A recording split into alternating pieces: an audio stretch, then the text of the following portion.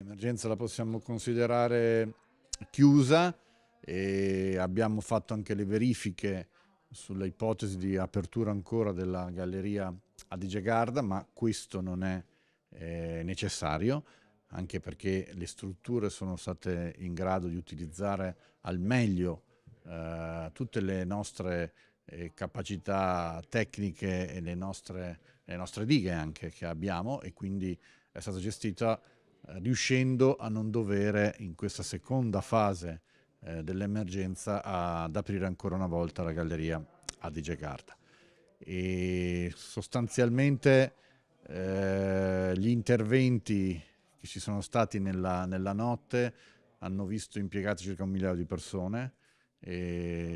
strutture della provincia, vigili del fuoco permanenti, tantissimi volontari nelle varie valli del Trentino, a loro va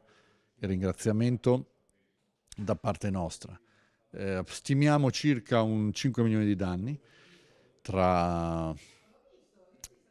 eventi accaduti, eh, briglie eh, da sistemare, strade da sistemare, smottamenti e, e quant'altro. Gli interventi reali sono stati una ventina, tanti nelle giudicarie, Val di Non, Val di Sole, Val dei Mocchini, Rovereto e, e Vallagarina. E,